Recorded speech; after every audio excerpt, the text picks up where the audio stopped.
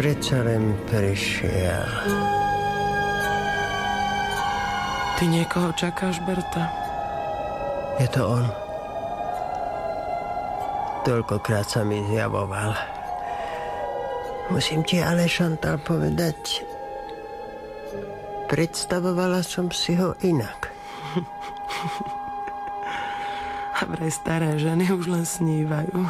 Tento je ešte mladý. Ten cudzinec?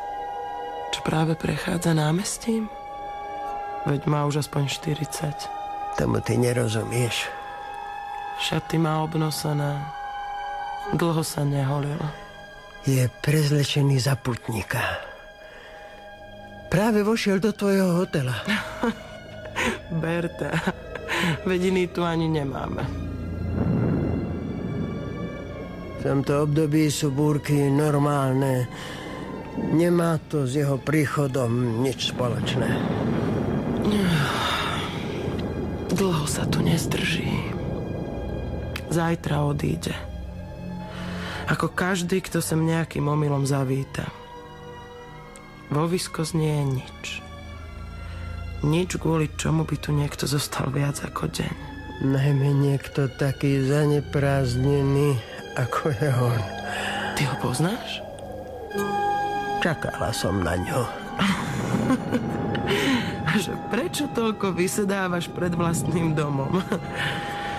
Aspoň sa konečne netrápiš nad svojim mužom. Môj muž je stále so mnou, Chantal. Ale rád sa so mnou pohráva, aby som sa bez neho na tomto svete nenudila. Chcem už pristará na to, aby som zachraňovala celú dedinu. Dúfam, že pán Boh bude potrebovať pomoc, vyberie si niekoho mladšieho. Ach, keby čo najskôr odtiaľ to odišiel. Na to jediné sa môžeme spolahnúť. Všetci odtiaľ to odchádzajú. Démoni odchádzajú a prichádzajú. Rovnako ako búrky, hurikány a lavíny ktoré za niekoľko hodín dokážu vyvrátiť z koreňov 200-ročné stromy. Démon nepotrebuje veľa času na to, aby zničil, čo sa zaumieni.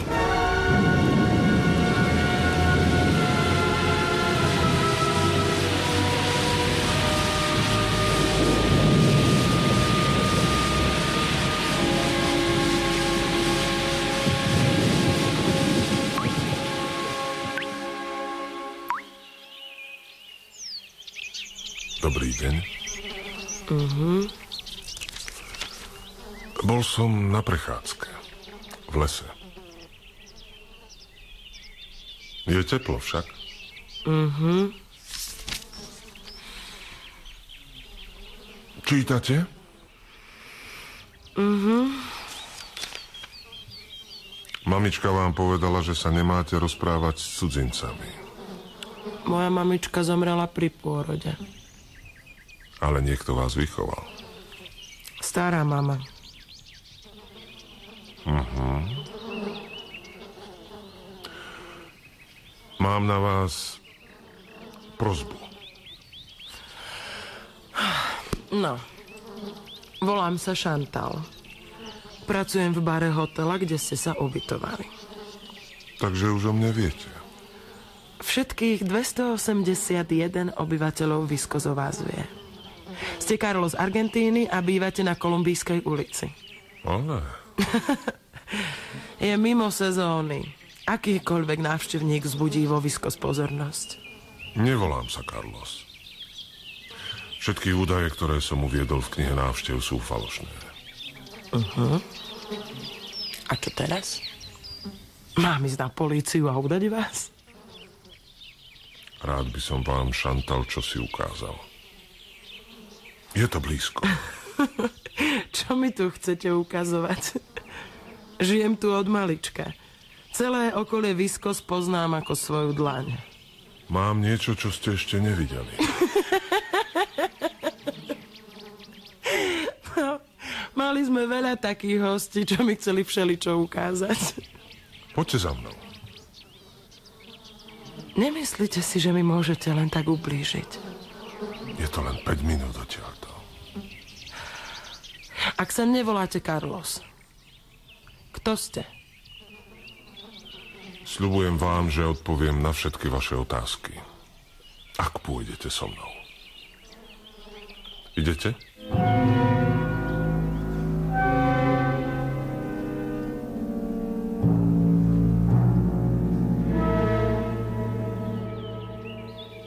Vidíte tú čerstvú hlinu?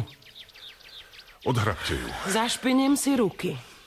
Vezmite si tento konár.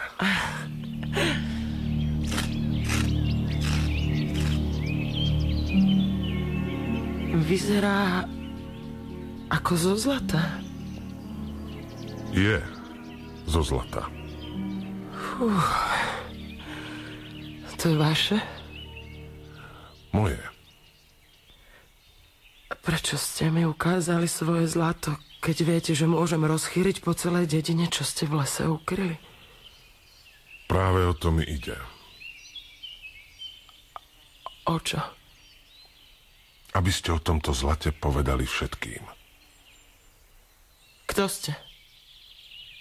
Slúbili ste, že mi odpoviete na všetky otázky. Ak s vami pôjdem. Dám vám dobrú radu. Neverte sľubom. Tí, čo nasľubujú a potom sľuby nesplnia, cítia sa bezmocní a sklamaní. A to isté sa prihodí aj tým, ktorí sľubom uverili. Čo z toho platí na vás? Musel som veriť klamstvám, lebo som sa nevedel vyrovnať so skutočnosťou. Rozumiem.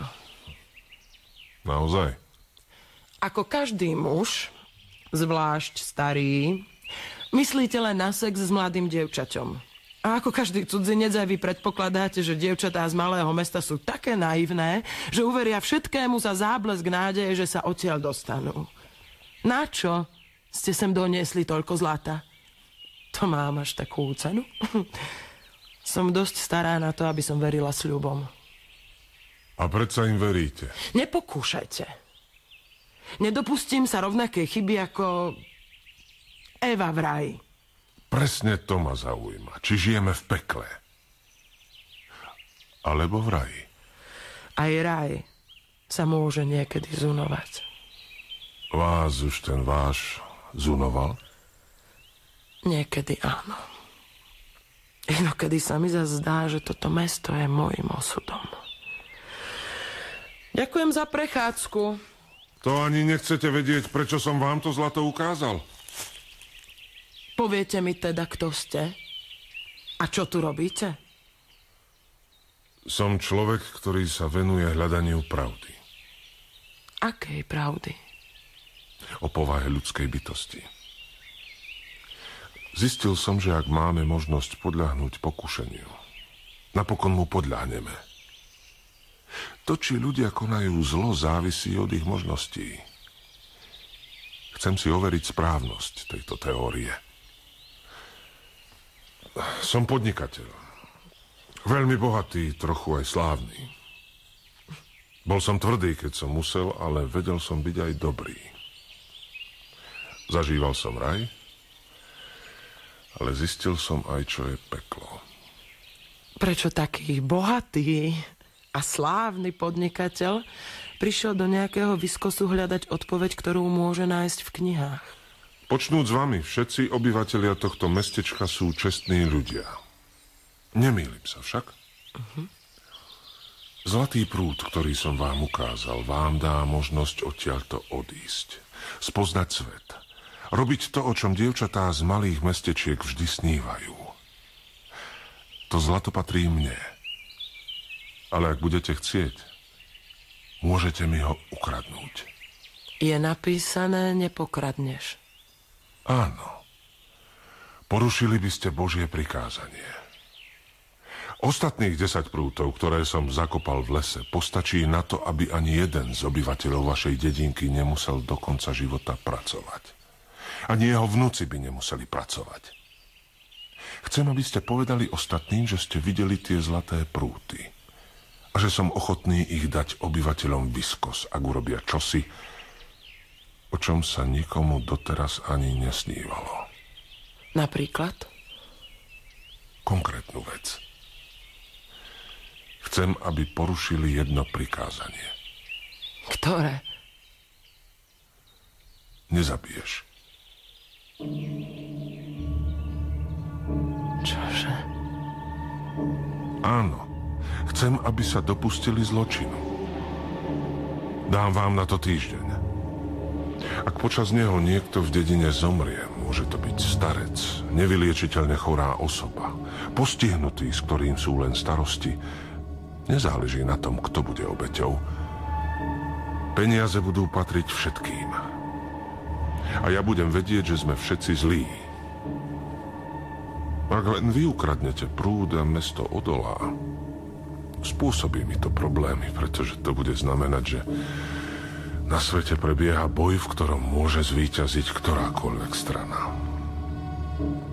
Prečo ste si vybrali práve nás? Vôbec tu nejde o vás. Myslím len a len na seba. Ak sme dobrí, Boh mi všetko odpustí. Ak sme zlí, potom je dovolené všetko. Nemusíte so mnou spolupracovať. V takom prípade všetkým oznámim, že som vám dal príležitosť, aby ste ľuďom vo Viskos pomohli, ale že vy ste ju odmietli. Dám im potom ten istý návrh ako vám. Ak sa rozhodnú niekoho zavraždiť, bude pravdepodobné, že to budete vy.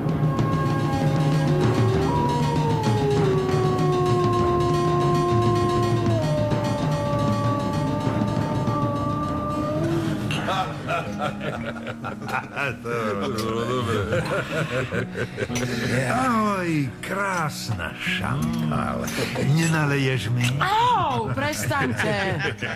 Čo chcete? Ty vieš veľmi dobre, čo chcem. Vyzeráš, ako by si celé noci nespal. No. To ťa tak vyrušuje zavíjanie vlka.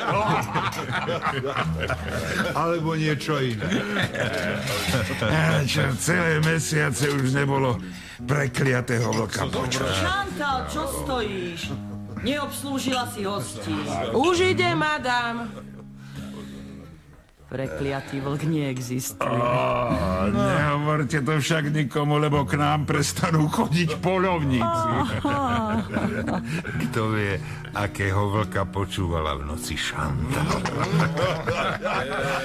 Ale na cudzinca sa usmievaš. Ten ma aspoň neotravuje. Ako vy všetci. On je slušný človek. Z mesta, to sa pozná. Vstáva zavčasu. Ako dedinčan. Chodí do lesa, aj keď prší.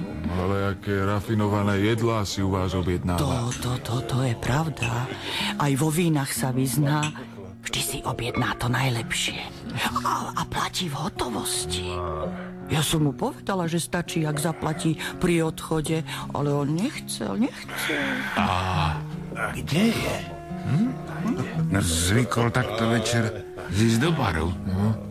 Je to veľkorysý človek. Keď vám niekto zaplatí rundu, hneď ho považujete za dobrého. Je dobrý.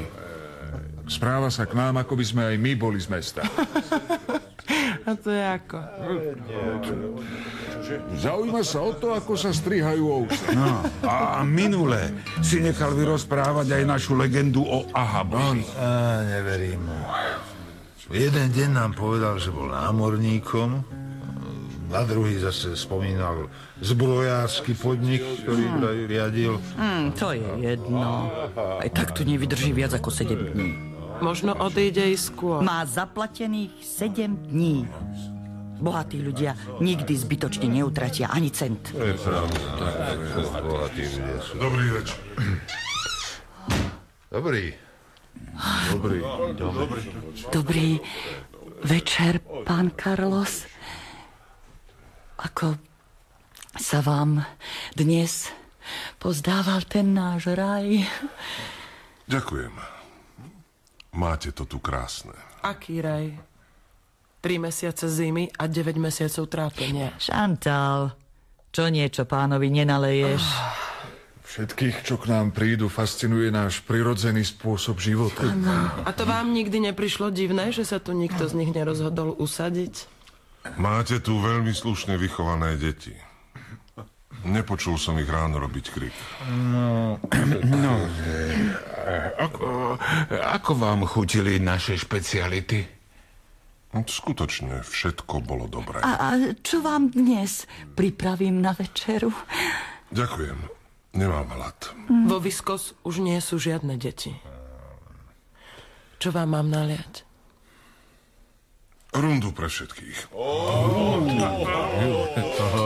Čo to máte? Kde? Tam nad barom.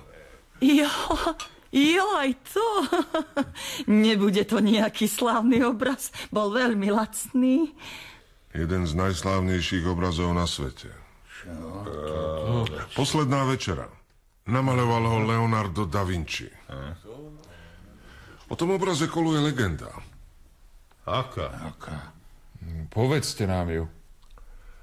Leonardo chcel zachytiť dobro v postave Ježiša a zlo v postave Judáša. Hľadal modely pre tieto postavy. Vošiel do chrámu a medzi chlapcami spievajúcimi chorál zazrel dokonalý obraz Krista.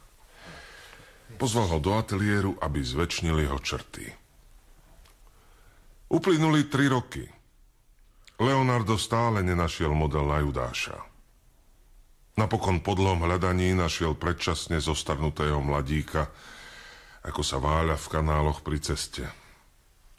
Len s námahou ho opitého doniesli do kostola, kde Da Vinci zakresľoval jeho tvár svedčiacu o krutosti, riechu a egoizme. Skice už boli takmer dokončené, keď žobrák precitol, zahľadil sa na nedokončený obraz a povedal Ten obraz som už videl. Kedy? Pýta sa Leonardo prekvapene. Pred tromi rokmi. Spieval som vtedy v chóre.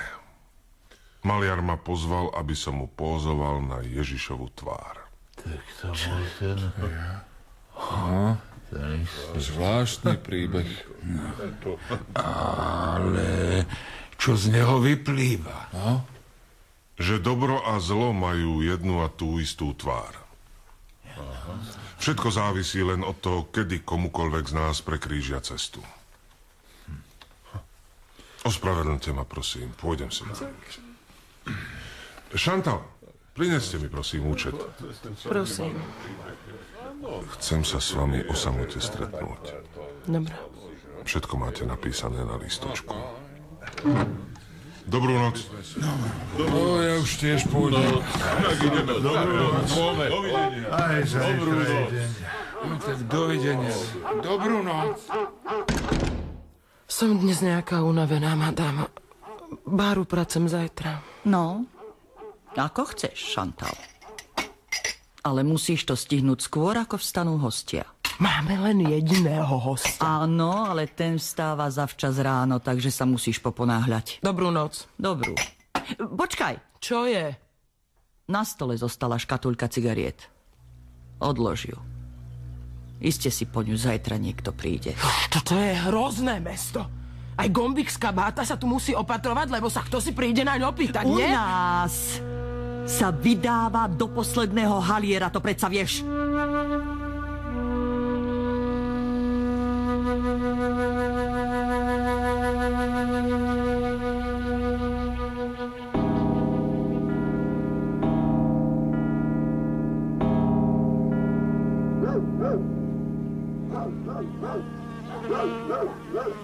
Kam sa tak ženieš? Poseď si pri mne a odpočiň si. Pofajči si. Stávala si skoro ráno. Áno, Berta. Ako vieš? Musela som upratať bar. Počula som byť prekliatého vlka. Niečo sa v dedine deje. Vo Viskos. Vo Viskos sa nikdy nič nedeje. Viskos sa nikdy nezmení. Jediné, čo sa tu mení, sú ročné obdobia a teraz prichádza zima. Teraz prišiel cudzinec. Čo s tým má spoločné cudzinec? Celé dni pozorujem prírodu. Je to jediný spôsob, ako som sa mohla vyrovnať so stratou manžela. Sledujem, ako sa míňajú obdobia. Ale vidím aj to, ako jediný nečakaný prírodný úkaz dokáže spôsobiť definitívne zmeny. Hrozné mesto, tento Viskos. Od začiatku to bolo mesto videdencov a banditov, ktorí sem boli poslaní za trest. A dnes je to zase dedina plná zbabelcov. Neviem, či zbabelosť je to správne slovo. Každý sa obáva zmien. Chce mať veci pod kontrolou, aj keď nekontroluje nič. Vždy, keď to najmenej čakáme, príde zemetrasenie. Blesk spáli strom. Alebo nešťastná náhoda zabije dobrého človeka ako môjho muža na polovačke. Ten príbeh si už rozprávala stokrát, Berta. Ak nechceš, nebudem ho opakovať.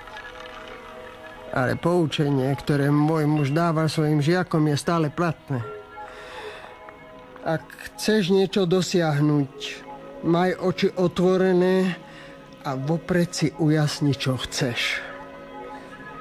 Ešte nikomu sa nepodarilo trafiť cieľ so zatvorenými očami. Môj muž vedel, čo hovorí. Bol veľmi dobrým polovníkom. Berta, vola, kedy som ťa považovala za odvážnu. Obdivovala som ťa, že si sa vedela o seba po manželovej smrti postarať. Ale čo vlastne celý čas robíš? Sedíš tu, zababušená na priedomí, pozoruješ stále tú istú krajinu, strážiš to, čo vôbec strážiť netreba. Si obyčajnou, bláznivou starenou, čo si namýšľa, že sa zhovára so svojím mŕtvým manželom a má schopnosť nazerať do ľudí. Ach. Musím už ísť. Dobre sa pozri, akých máš okolo seba spoločníkov. Zase si namýšľa, že niečo vidíš? Posorka. Dobre ti hovoria ľudia v dedine.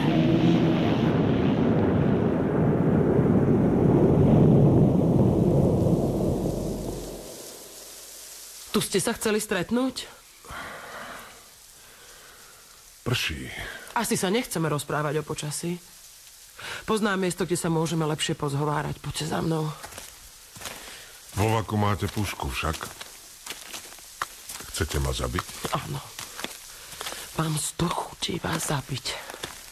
Ale neviem, či to dokážeme.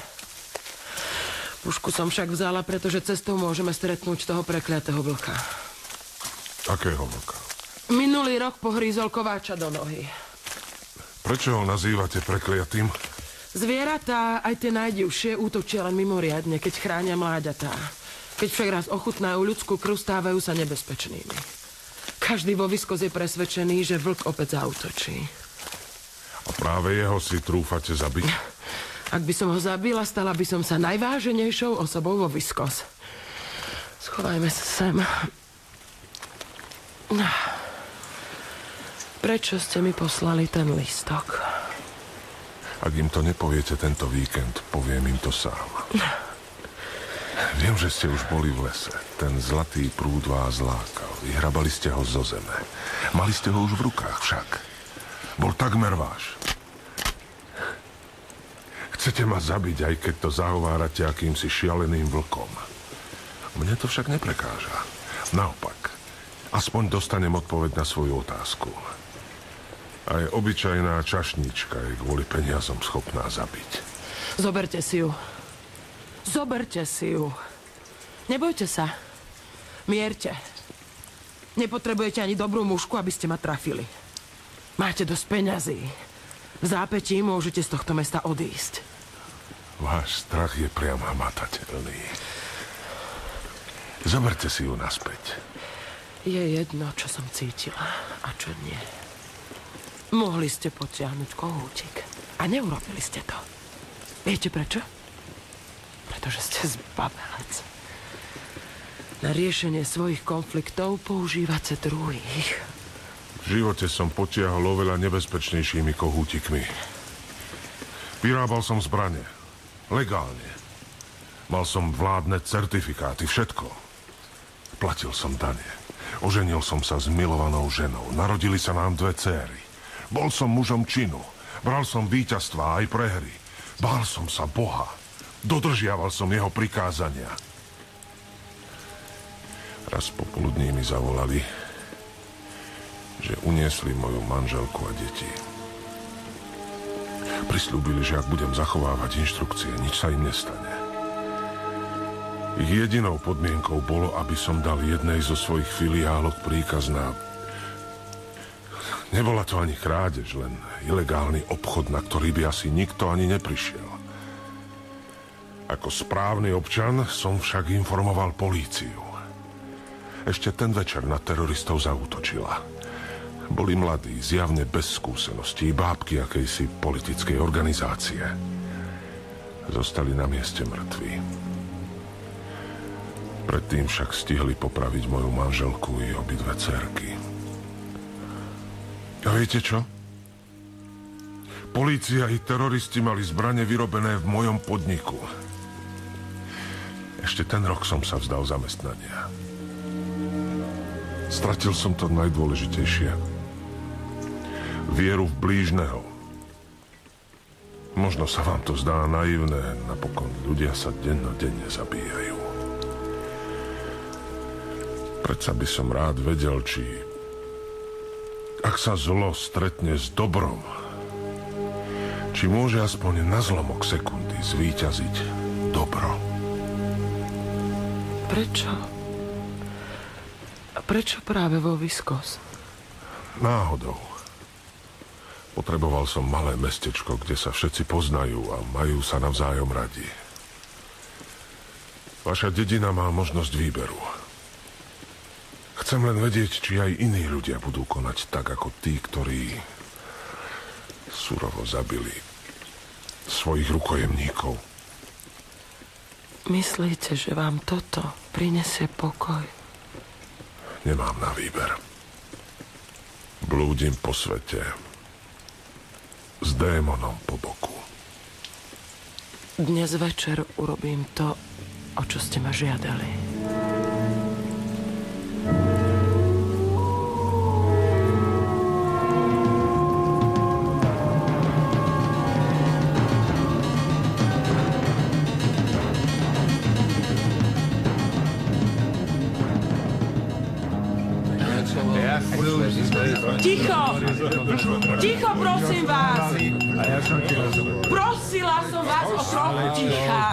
Kto to kedy videl počúvať nejaké mladé dievča? Ale veď už buďte konečne ticho. Počúvajte. Vyrozprávam vám príbeh. Nemôžeš vedieť nič, čo by sme my nevedeli. Poviem vám príbeh, ktorý nepozná nik okrem nášho cudzinca. Nevieme, ako sa vlastne volá. Nevieme, odkiaľ prišiel. Kam ide. Pred štyrmi dňami mi ukázal zlaté prúty. Čo? Aké? Vymýšľaš si. Skutočné zlaté prúty. Bolo ich toľko, že stačia na zabezpečenie všetkých obyvateľov Viskos najmenej na 30 rokov. No, to... A to by sme za ne mohli postaviť aspoň 10 ihrisk, čo? V zápetí ich ukryl v lese na neznámom mieste. To zlato bude patriť obyvateľom Viskos, Neblázni. ak tu niekoho počas troch dní zavraždia.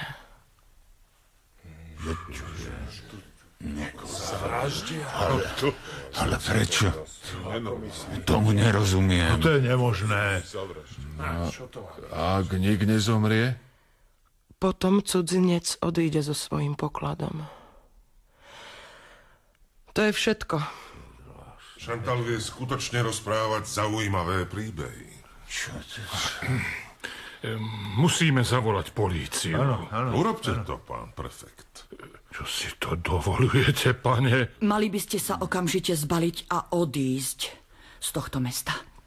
Mám zaplatené na celý týždeň. A týždeň tu aj zostanem. A napadlo vám, že tým zavraždeným sa môžete stať aj vy sám? Samozrejme. Ale upozorňujem vás, že to by nemalo nejaký zmysel. Dopustili by ste sa síce zločinu, ale nikdy by ste nedostali slúbenú odmenu. To je už... Dobrú noc, pán prefekt. Dobrú noc, dobrú noc. Ďakujem vám, Šantal, Za čo? Že ste urobili, o čo som vás žiadal. Toto ste chceli? Ste chudák. Trpeli ste a teraz sa jednoducho chcete pomstiť. Váš démon sa usmieva, lebo ste prijali úlohu, ktorú vám nanútil. Vy v skutočnosti nehľadáte nejakú odpoveď. Chcete si len potvrdiť to, čomu potrebujete veriť. Že totiž všetci ľudia sú zlí. Vaše srdce je mŕtve. Kam tým mierite? K spravodlivejšej stávke. Dohodneme sa radšej takto. Ak počas nasledujúcich dní nik vo Viskos nezomrie, mesto aj tak dostane svojich 10 prútov. Ako odmenu. Za súdržnosť. A samozrejme ja dostanem svoj prúd ako odmenu za to, čo som pre vás urobila.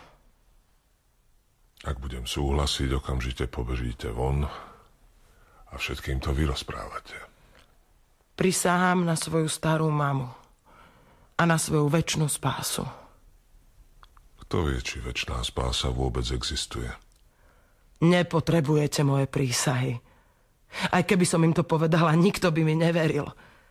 Títo muži sú zvyknutí na ťažkú prácu. Nikdy by nepripustili možnosť, že im z neba len tak spadne poklad. Nesnažte sa ma podviesť. To znamená, že súhlasíte? Odhalím každý pokus o podvod. O tom nepochybujem. Povedali ste áno? Mhm. Beriem vás za slovo. A ešte niečo. Vy predsa len stále veríte, že človek môže byť aj dobrý. Inak by ste si nevymysleli takúto hlúposť. Dobro nejestvuje. Cnosť je iba jednou z tvárí strachu. Poď,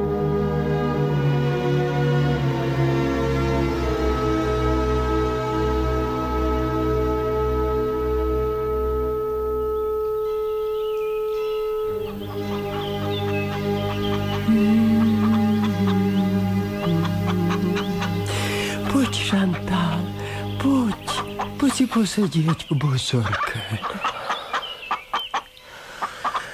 Dnes sa mi nechce rozprávať. Nie som schopná premýšľať a ani nič povedať. Tak nič nehovor. Stačí, ak ma budeš počúvať. Poď. Poď sem ku mne na lavičku. Berta, ty si jediná, ktorá sa ku mne dnes správa normálne. Choď do lesa, schladiť si hlavu. Ale ja predsa za nič nemôžem. Upokoj sa. My dve vieme, kto za to môže. Aj oni to vedia. Ale práve preto potrebujú vynika. Vynikom je on, Berta. Veríš mi?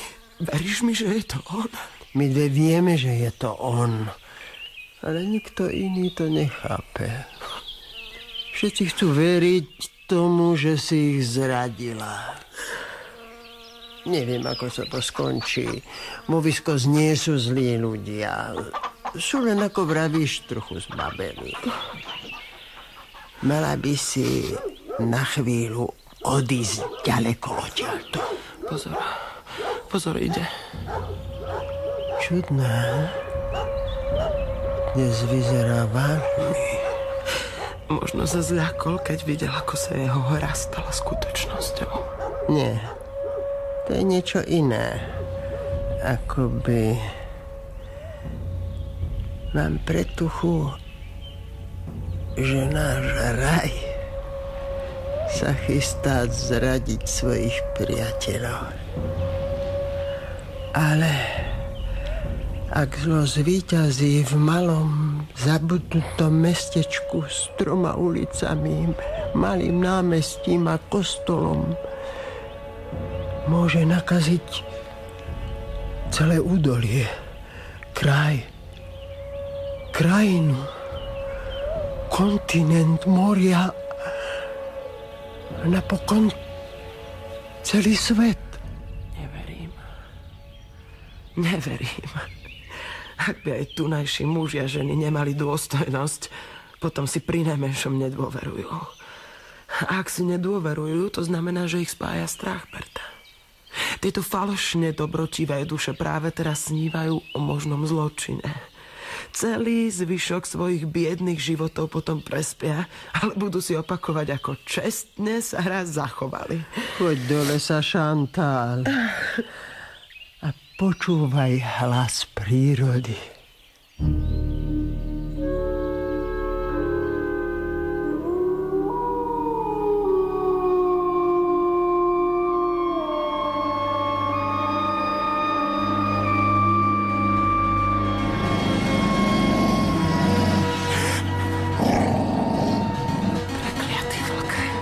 Ty si ma tu našiel?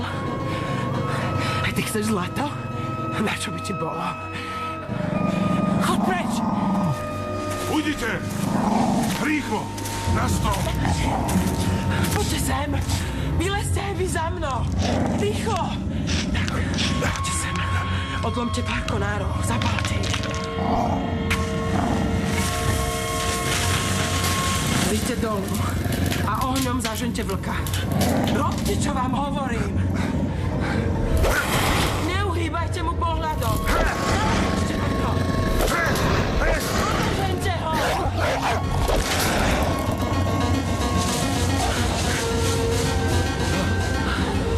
Preč.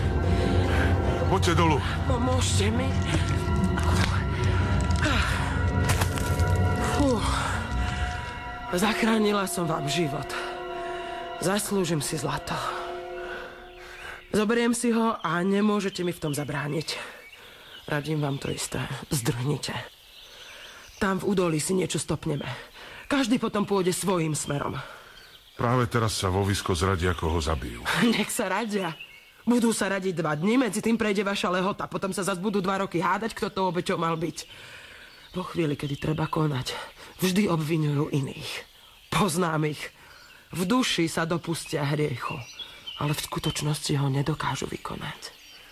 Viskos je presne také ako všetky dediny na svete. Všetky mestá, všetky kláštory na svete. Aj vy ste najradšej v pozícii obete. Poznám veľa ľudí, ktorí robia presne to isté. Napríklad aj vy? Nie. Mne nezáleží na tom, či sa moje postoje ľuďom páčia, alebo nie. Prečo nechcete všetko nechať tak, kým je čas? Človek potrebuje spoznať v sebe to najhoršie, aby dosiahol to, čo je v ňom najlepšie. Každý si myslí, že si svoj osud nezaslúžil. Starý Ahab, ktorý bol voľakedy dávno, tak ako všetci ostatní, zločincom, vyvrhnutým na toto miesto, ale ktorý sa príčinením svetca Savina obrátil, zaviedol do našej dediny viaceré novoty. Napríklad? Prikázal všetkým, aby si raz do roka napísali dva zoznamy a potom ich ukázali Bohu. Hľa, pane, toto je zoznam mojich hriechov, ktorými som sa proti tebe previnil. A prečítali celý rad podvodov a nevier z prvého listu. A čo mali na tom druhom? Zoznam hriechov, ktorými sa previnil voči nim sám Boh. Jednému ochorelo dieťa. Druhý za sám trpel viac, ako si zaslúžil. Ty mi, pane, odpustíš moje previnenia a ja zabudnem na tvoje. Povedal raz v roku každý obyvateľ tohto mesta. Odpúšťať Bohu? Neviem, či to malo nejaký zmysel. Mali by sme odtiaľto odísť. Čo najrychlejšie, každý svojou stranou. Vy urobte, čo pokladáte za správne. Ukradnite zlato. Ujdite. Do toho ma nič. Ja idem späť do Viskos. Ale moje zlato! Počkajte! Ale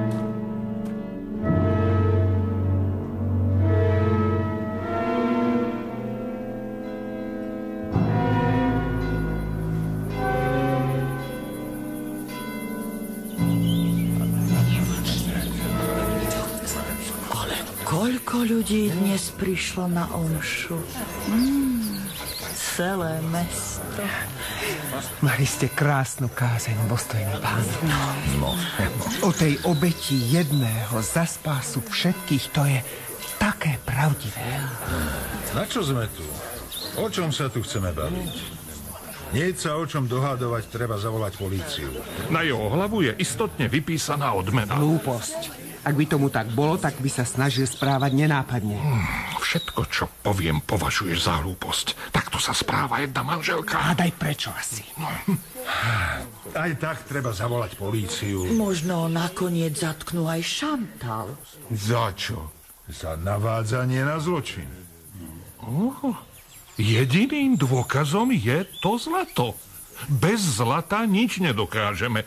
A a nikto z nás nevie, kde je. Prehľadáme les. Na to by sme potrebovali aspoň 100 chlapov a 100 rokov. Ach, dôstojný pán, dobre ste hovorili v kázni, že nik nie je dobrý. Okrem jedného. A tým je Boh. Prestaňme chodiť okolo ako, ako okolo... Musíme si v prvom rade odpovedať, či chceme prijať cudzincov návrh a vykonať, Zločin. Alebo Nie zločin, ale obetu. Pomodlíme sa. Pane, ty si povedal, že nikto na svete nie je dobrý. Príjmi nás v našej nedokonalosti a odpusti nám, lebo sa musíme obetovať, aby sme zachránili mesto. Amen. No, e, boli by tu praktické otázky. Koho obetujeme? A kto to vykoná? Šantal chce byť vždy iná ako my. Stále žije v nádeji, že jedného dňa odíde. E, Nemôžeme jej dôverovať. To je pravda. Tá by nikomu nechybala. Matku nemá, aj stará matka je už zomrela. A práve preto, že nás priviedla na zločin jej, môžeme dôverovať. Veď ju nemáš rada, stále hovorí, že je lenivá. Čo sa jej odrazu zastáva? Chápem vás, pani. Šantal by mala zostať žiť. Aby vina padla na jej hlavu.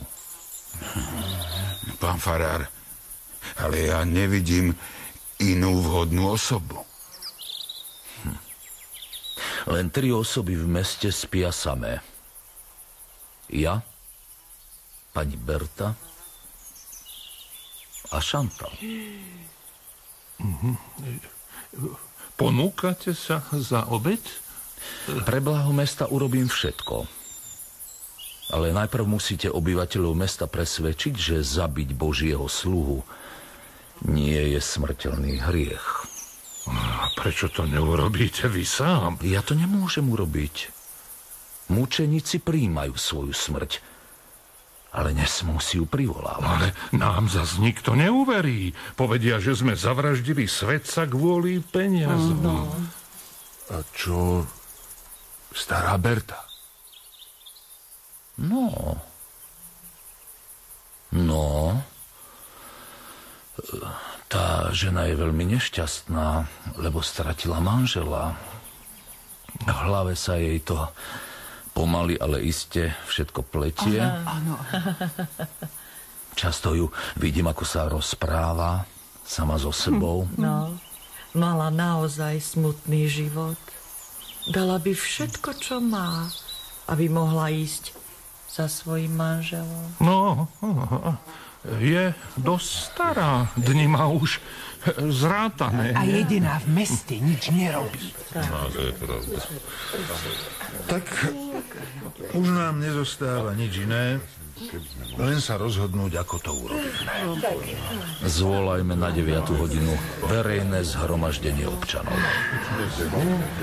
Prefektom som ešte stále ja, pán Farár. Ja ho zvolám.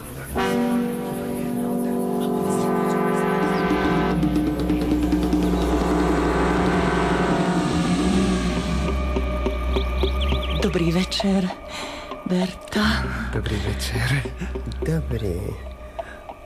Čo sa deje, že vy dve ste ma odrazu prišli navštíviť? Oh, ideme len tak okolo. Tak okolo ideme. Mesto je akési divné.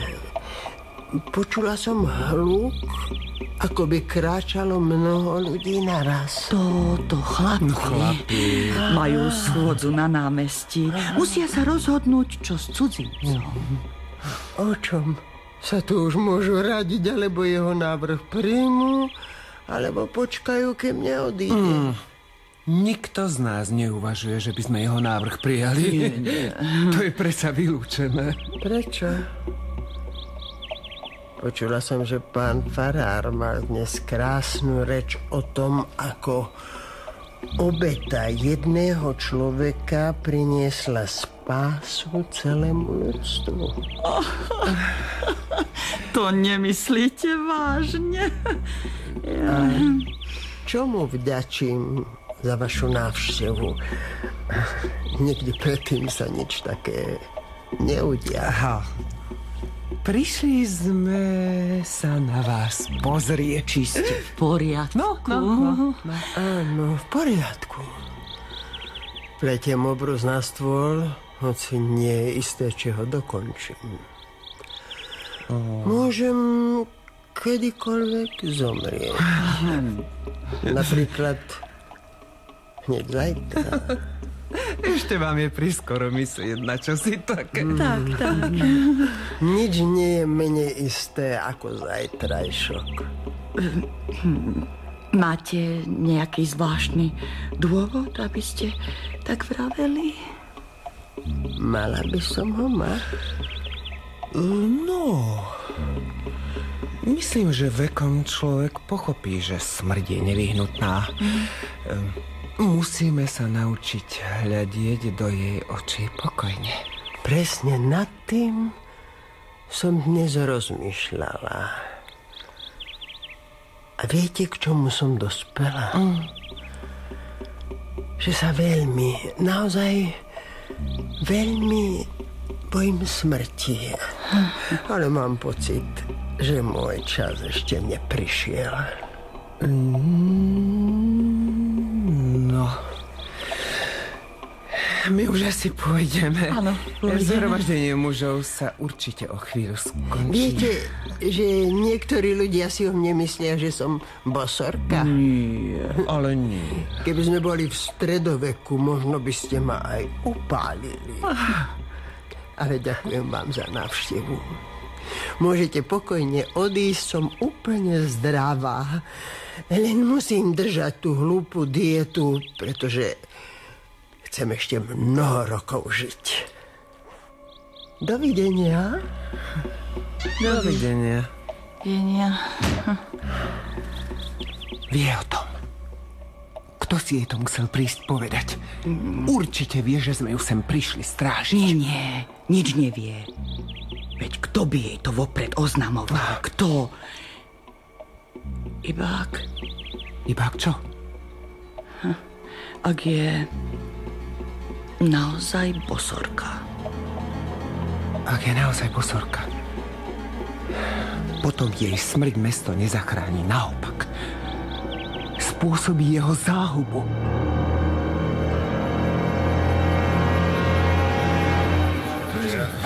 Na pôde kostola som vám hovoril, aké dôležité je prinášať obete. Nemusím vám pripomínať, že existencia Viskos je ohrozená. Že naše mesto môže čoskoro zmiznúť z mapy. Zajtra nám cudzinec ukáže zlato.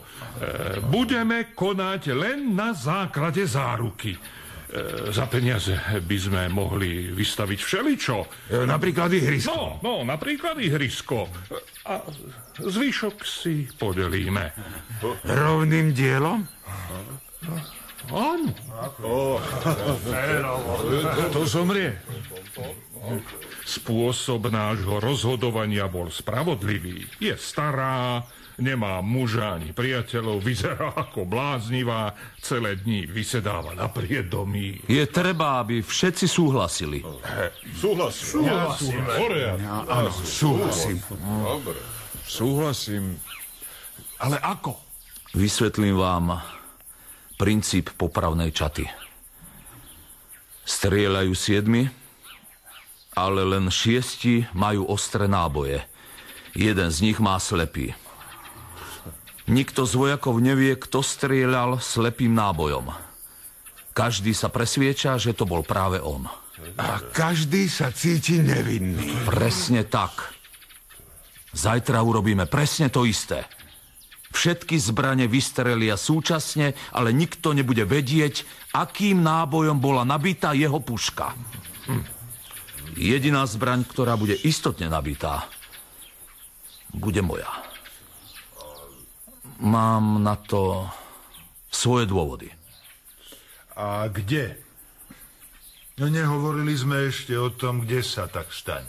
Pri keltskom monolite, aby zem Viskos nebola poškvrnená. E, Prineste si so sebou fakle a lampy.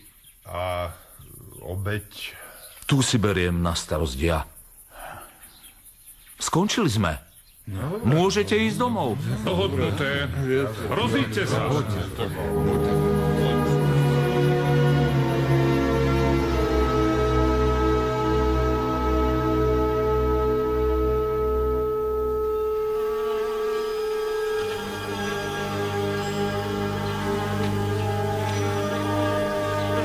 Dobrý deň, Berta.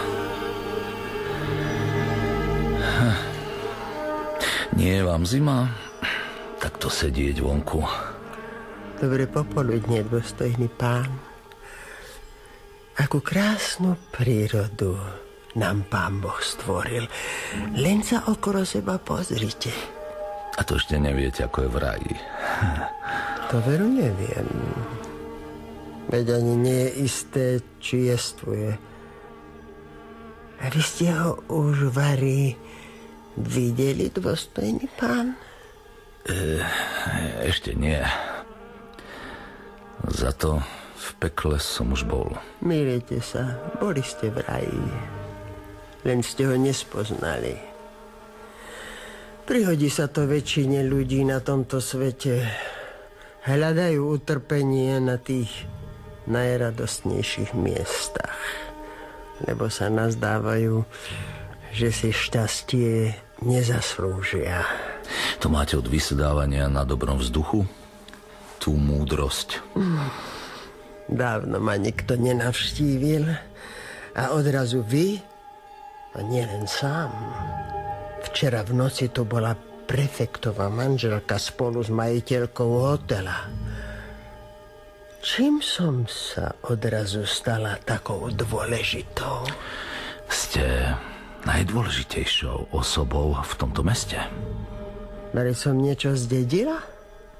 10 prútov zlata. Celé generácie vám budú ďakovať. Možno na vašu počesť postavia aj sochu. Ja by som bola radšej, keby ste na moju počesť postavili studňu. Viem všetko. Práve ste odsúdili nevinnú ženu, ktorá sa nedokáže brániť. Buďte prekliatý, dôstojný pán. Aj tento kraj a všetci jeho obyvatelia. 20 rokov som žehnal tomuto údoliu. Nikto však moje výzvy nepočúval. A teraz som pochopil, že si ma Boh vyvolil, aby som sa stal nástrojom zla. Aby som bol jeho ľavou rukou a ukázal týmto ľuďom všetko to zlo, ktoré páchajú. Možno sa preľaknú a obrátia. Pekné slova, ale prázdne. Prijať túto úlohu bolo pre mňa gestom najhlbšej pokory voči Bohu. Je zbytočné sa s vami baviť. Nebojte sa, nebudete nič cítiť. Užite tieto pilulky. Na niekoľko hodín od nich zaspíte. A keď sa prebudíte, budete v nebi pri svojom manželovi. Nemusím nikam chodiť. S mojím manželom som stále. Musíte ich vziať. Nemáte inú možnosť. Ľutujem vás. Ľutujem prefekta Šantal, cudzinca aj všetkých ostatných. Len jedno ma trápi, že som nikdy nevidela more. Dobro i zlo je... Nehovorte mi o dobre. Nepoznáte ho, dôstojný pán. Ste otrávení zlom, ktoré vám spôsobili už len tým, že vás poslali do tohto raja. Nikto nedokáže toľké roky vzdorovať ľahostajnosti. Ste taký istý ako ten cudzinec.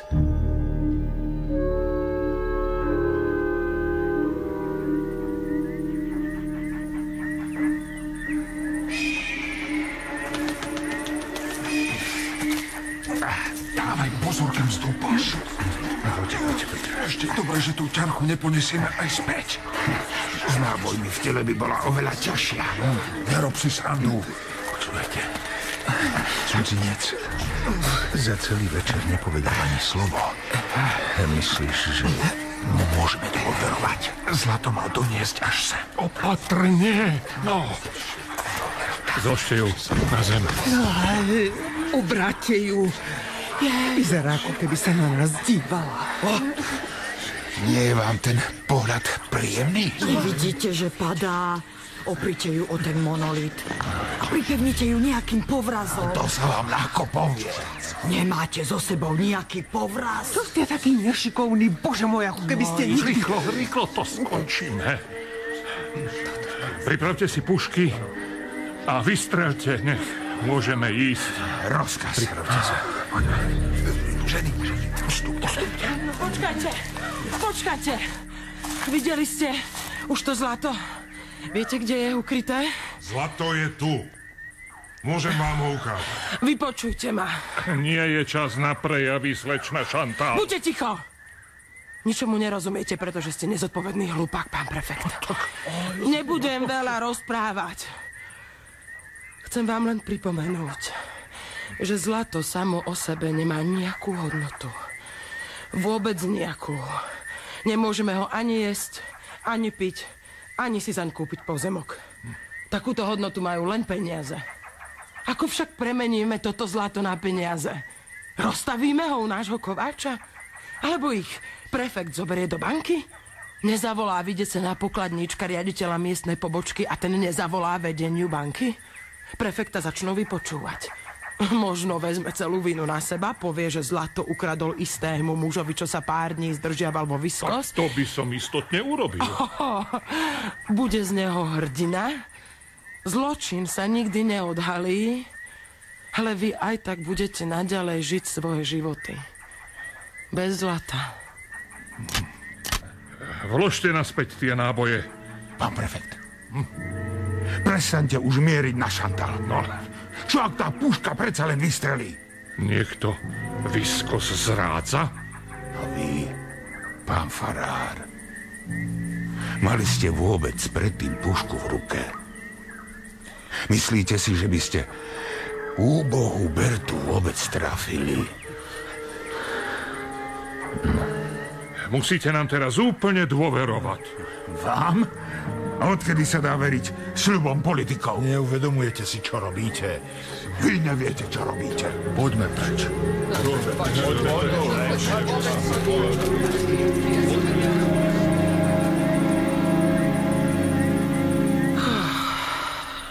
Odišli. A úbohú Bertu nám tu nechali. Musíme s ňou počkať do rána, kým sa nezobudí. Dosiahli ste, čo ste chceli. Podľa našej stávky zlato teraz patrí dedine. Ja som však výmenou za zlato nezískal odpoveď na svoju otázku. To zlato patrí mne. Nie im. Pôjdete so mnou do mesta a v banke spolu vymeníme zlato za peniaze. Neverím vám ani slovo. Hoci by ste mi mali byť vďačná. Donútil som vás konať. Vy? Počuli ste predsa legendu o stretnutí Ahaba so Savinom? Áno. Z vyhláseného zločinca sa po stretnutí so svetcom stal čestný muž. Savin totiž nechal Ahaba u seba prespať, ako by mu úplne dôveroval. Ahab si na ňo už už brúsil nože, ale chcel sa presvedčiť, či Savin len nepredstiera spánok. Zároveň ho bavilo svetca pokúšať. Začal sa Savina v polospánku vypitovať. Povedz mi, Savina, keby som prišla najkrajšia prostitútka z mesta, videl by si v nej krásnu zvodkyňu? Iste, odpovedal Savin. Ale ovládol by som sa. Keby ti ponúkli mnoho zlatých mincí, aby si zanechal pustovnícky život, videl by si v nich len kamene? Nie ale ovládol by som sa. A keby ťa navštívili dvaja bratia, jeden by ťa zjavne nenávidel a druhý by ťa považoval za svetca. Správal by si sa k ním rovnako? Hoci by ma to stálo veľa úsilia, áno. Odpovedal Savin. A tento rozhovor rozhodol o Ahabovom obrátení. To je všetko? Všetko. V čom je tá odpoveď? Ahab si v tú noc uvedomil, že Savin je presne taký istý ako on. Savin aj Ahab mali tie isté inštinkty. Aj o nich zápasili dobro a zlo, aby nad nimi získali prevahu. Rovnako ako sa usilujú ovládnuť všetky duše na zemskom povrchu. Ahab pochopil, že sa vo všetkom vyrovná svetcovi pretože všetko je to len otázka rovnováhy a výberu.